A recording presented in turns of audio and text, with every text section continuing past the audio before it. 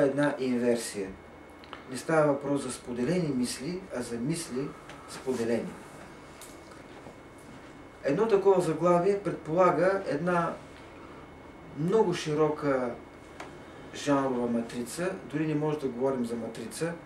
Аз си мисля дори, че тогава, когато а, определим една книга като роман, като повест, като разказ, като художествена документална повест и прочие жанрови определение, ние всъщност слагаме един намордник на автора и му казваме сега, уважаеми писатели, ти си длъжен да се движиш в рамките, в границите на точно тази определена жанрова територия и в никакъв случай не бива да излезеш от там, защото ти си определил твоето произведение, примерно като художествена документална повест.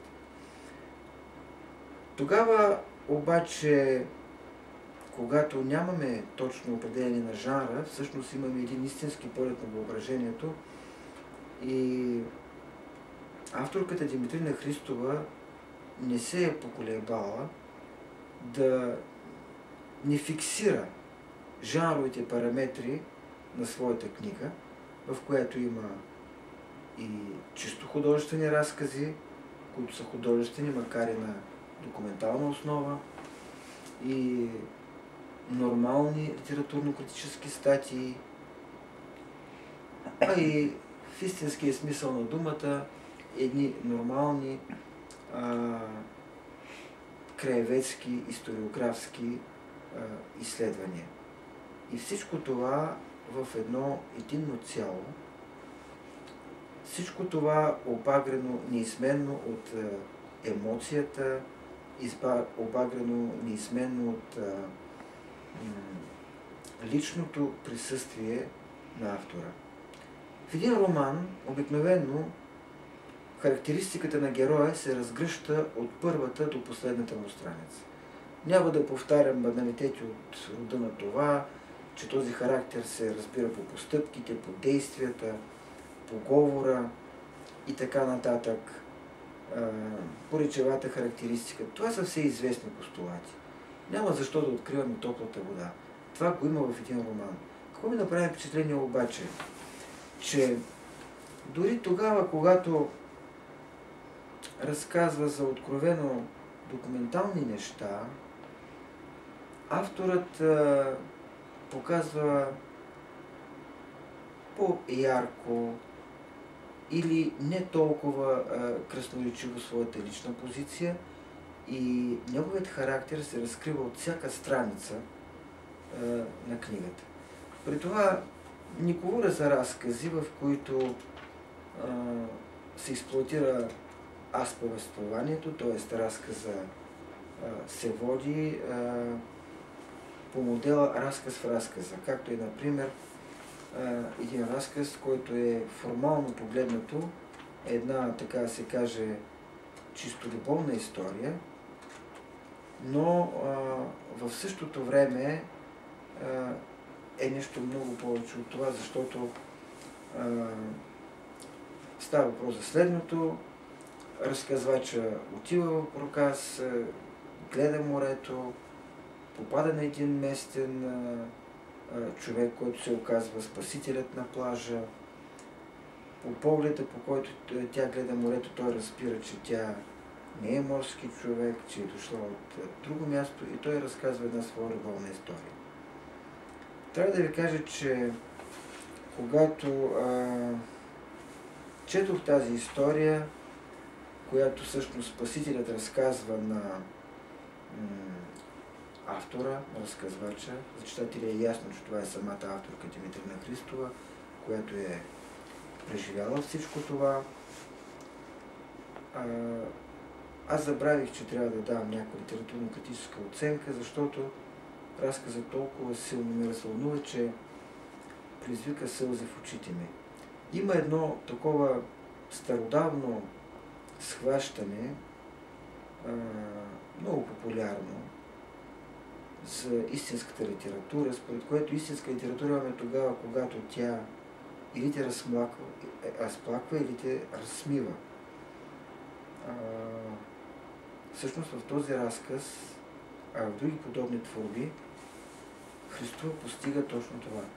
Езикът ти е кристално чист, без паразитни думи, а, има чувство за художествена мярка при поднасянето на метафорите. Стилът не е метафорично натрупен, синтаксисът в никакъв случай не е осложнен, което обаче не означава, че е елементарен. Тоест, е, има сложни изречения, не преобладават простите изречения, говоря като просто изречение като термин, но в същото време има една кристална яснота на разказа, на повествованието и на слога. В книгата не липсват и откровено есеистични фрагменти, които са просмукани от наглед познатите мотиви на които носят белега на патриотизма, на жаждата да се устоява българския дух и така нататък. В същото време трябва да признаем, че тези истини за миналото на някогашната Силистра, няко, някогашният Доросторум дръстъл, дръстър Доростол, град съсищан и разрушаван според авторката, покоряван и освобождаван многократно, един от най-древните български градове, има едно достолепие на научния стил, едно спокойно, а, като река Дунав в хубав летен ден повествование, което всъщност говори за едно задълбочено познаване на фактите. В личен разговор авторката ми каза, аз за първ път се осмелявам, заедно със своите научни съчинения, да пиша и художествена проза. Знаете ли, напоследък животът ме срещна точно с такива писатели, по време на едно от многобройните ми пътувания, свързани с посещение на колеги от Конфедерация на българските писатели, които цял живот са писали документални книги и някак си не са смеяли да потопят перото си а, в мастилото на чисто художествената проза. Тогава обаче, когато са го направили, те са го направили с един неподозиран, дори за самите с тях, артистизъм и успешност. Още повече, че чисто фактологичните натрупвания по време на техните документални проучвания, по време на подготовката за създаване на техните документални книги, е създало най-важното за една такава художествена проза. Усещането за истинност, усещането за автентичност на преживяването, което може да се постигне само при автори с опит в документалистиката. От автори, които не измислят, а описват това, което са, лично са преживели или просто са изучили във връзка с една или друга история. Не мога да не споделя едно свое чисто човешко а, впечатление. Всеки автор от Силистра, до който се докосвам, създава у мен усещането за един изключително буден, за един изключително развит в литературно отношение град. Град, който независимо от дълбочината на безкрайната българска криза, живее някакъв свой аристократичен живот. Отличава се с един духовен аристократизъм, който го прави едно доста своеобразно, доста специфично място. И Димитрина Христова всъщност допълни с още един штрих това мое впечатление.